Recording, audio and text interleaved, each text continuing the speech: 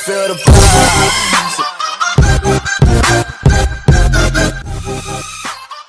Hello friends and welcome to EEE Wolf, the YouTube channel dedicated to electrical and electronic engineering students.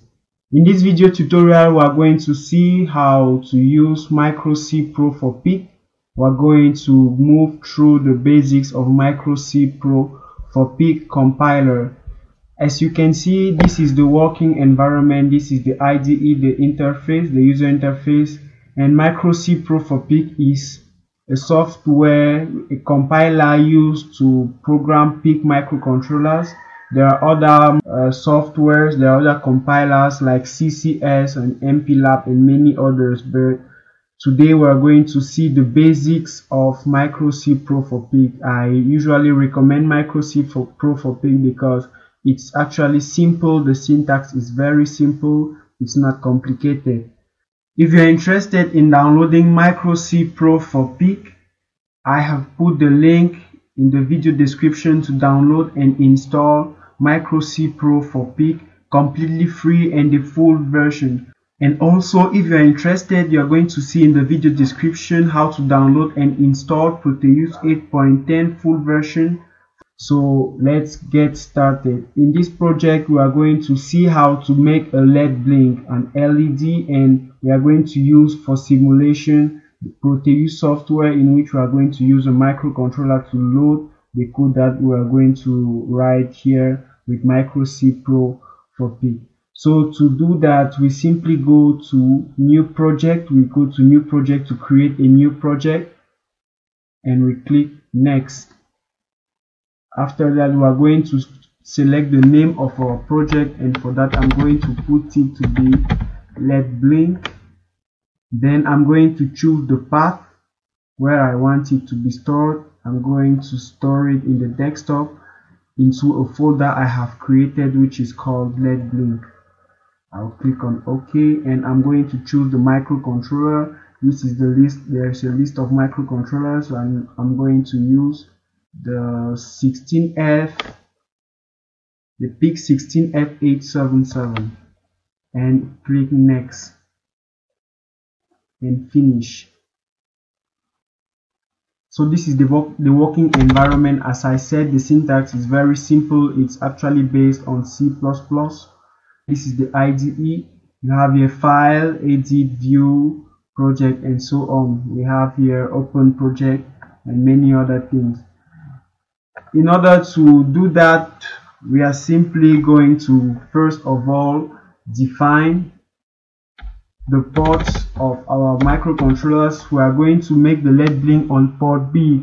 For that I'm going to make port B initialize well, I'm going to make port B to function as an output pin. And to do that the syntax is simply to write TRISB equal to 0 and uh, end with uh, semicolon and this zero simply I usually know it as zero is like O for output but if I put one here is like I for input. So I want this port to be an output port. I simply make I write TRISB equals 0 the next thing is I'm going to use a while one loop I'm going to use a while one loop and it's the loop through which our program is going to run forever and ever. Therefore in this loop what I'm going to do is I'm going to first of all make the port I'm going to make port b.rb0 because I'm going to use uh, pin rb0 pin B0 for to control our LED I'm going to put it 1 then I'm going to delay millisecond delay or I can write it in small letters delay milliseconds. I'm going to use the 1000 so it's actually for a one second delay. But the syntax in this case this syntax is not case sensitive it doesn't matter whether it's uh, it's in capital letters or small letters. Then after that I'm going to use that same port B again dot RB0 and uh, now I'm going to put in 0 and delay again. Let me use capital letters here. Delay milliseconds. 1000 which means it's going to have a uh, one second delay. So basically what's happening is that we have our project. This is the main the main project. And I've configured here the port B as an output. And while one loop it means the program is going to run in this loop forever and ever. It's going to make to give a high voltage level at the output of pin B0 later on it's going to delay and after it's going to give a low voltage to uh, pin B0 then delay again for one second and start back. So that's basically it. When that's done I can now come here and run or I can simply press here to build. And as you can see there is no there's no warning here. There is no writing in red. All is in blue. And uh, here in black. So if there is no red it means the program has been built on successfully and there is no problem. The next thing is that we are going to use our software because it has if we move to the desktop right now. We are going to see our LED blink we are going to see that it has been compiled here and uh, there are many file extensions that are there. So the next thing we are going to do is to go to Proteus software and once there we are going to create a new project. So we simply come on new project and we are going to create a new project and put our LED I'm going to name it link and I'm going to give it I'm going to save it in the same file location I saved the other one I select the folder and I press next next next next and finish. And once in Proteus I come to the device mode and I'm going to search my components. I'm going to start with the PIC microcontroller 16F877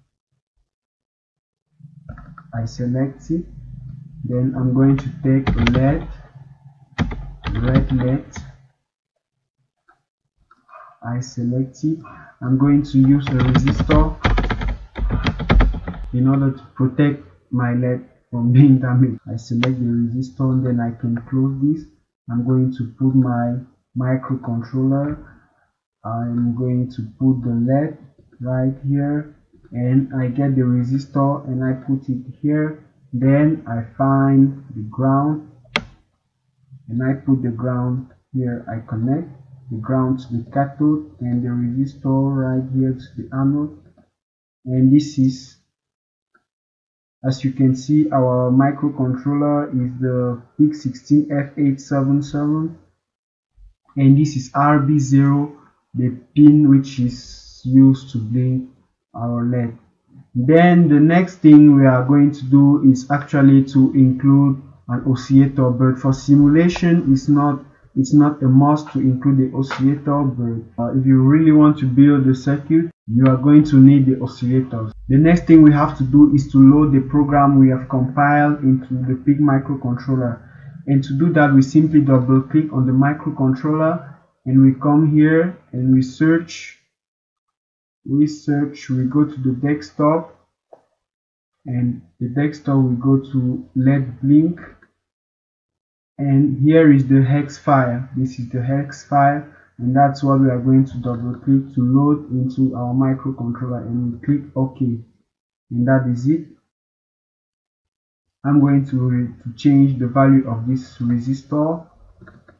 I'm going to put it to be 1k after that the next thing will simply to come here and launch. And we see how our circuit is behaving. After a period of one second it goes off. And after that it comes on again. But now as you can see it's not actually real time because of uh, CPU loading and uh, in order for us to really see the effect we have to we can change the delay time. We can use 100 milliseconds instead of of 1000 milliseconds. So to do that we simply come back to the code and we are going to remove this. We're going to use 100 and divide the time by 10 and simply build again. Then we go to Proteus and we do same we click ok because the file path is already chosen and hit play and as you can see our LED is blinking. As you can see the LED is blinking.